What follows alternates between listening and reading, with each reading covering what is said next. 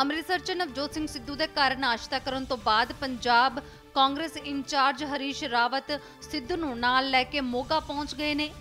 ਜਿੱਥੇ ਉਹ ਕੁਝ ਹੀ ਦੇਰ 'ਚ ਸ਼ੁਰੂ ਹੋ ਰਹੀ ਰਾਹੁਲ ਗਾਂਧੀ ਦੀ ਰੈਲੀ ਦੇ ਵਿੱਚ ਸ਼ਮੂਲੀਅਤ ਕਰਨਗੇ। ਇਸ ਮੌਕੇ ਨਵਜੋਤ ਸਿੰਘ ਸਿੱਧੂ ਅਤੇ ਹਰੀਸ਼ ਰਾਵਤ ਮੋਗਾ ਦੇ ਵਿੱਚ ਪਹੁੰਚ ਕੇ ਆਪਣੇ ਸਮਰਥਕਾਂ ਦੇ ਨਾਲ ਨਜ਼ਰ ਆ ਰਹੇ ਨੇ, ਜੋ ਕਿ ਰੈਲੀ ਨੂੰ ਕੂਚ ਕਰ ਰਹੇ ਨੇ। ਦੱਸਦੇ ਕਿ ਕੁਝ ਹੀ ਦੇਰ ਦੇ ਵਿੱਚ ਮੋਗਾ ਦੇ ਬਦਨੀ ਕਲਾਂ ਤੋਂ ਰਾਹੁਲ ਗਾਂਧੀ ਨਵਜੋਤ ਸਿੰਘ ਸਿੱਧੂ, ਹਰੀਸ਼ ਰਾਵਤ ਅਤੇ ਹੋਰ ਕਈ ਵੱਡੇ ਨੇਤਾ ਤੇ ਸਮਰਥਕਾਂ ਦੇ ਨਾਲ ਬਦਨੀ ਕਲਾਂ ਤੋਂ ਆਪਣੀ ਟਰੈਕਟਰ ਰੈਲੀ ਸ਼ੁਰੂ ਕਰਨਗੇ, ਜੋ ਵੱਖ-ਵੱਖ ਥਾਵਾਂ ਤੋਂ ਹੁੰਦੀ ਹੋਈ ਰਾਏਕੋਟ ਪਹੁੰਚੇਗੀ।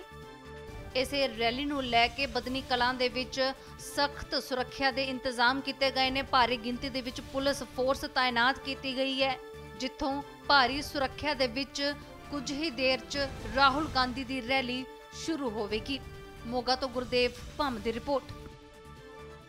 All world open challenge 17 time gold medallist Mian Rafiq Mohammad पंडित मौलवी बेगम तांत्रिक इन चोरा ठगा तो सावधान स्पेशलिस्ट वशीकरण सट्टा नंबर लव मैरिज पति पत्नी च अनबन विदेश च पक्का होना कारोबार दा ना चलना सिर्फ़ 31 ਘੰਟਿਆਂ विच समाधान फ्री फ्री फ्री मियाँ रफीक मोहम्मद मोबाइल 843447494647 84374 ਦੇਸ਼ ਦੁਨੀਆ ਦੀ ਹਰ ਵੱਡੀ ਖਬਰ ਦੇ ਲਈ ਹੁਣੇ ਡਾਊਨਲੋਡ ਕਰੋ number 1 news app Dainik Savera times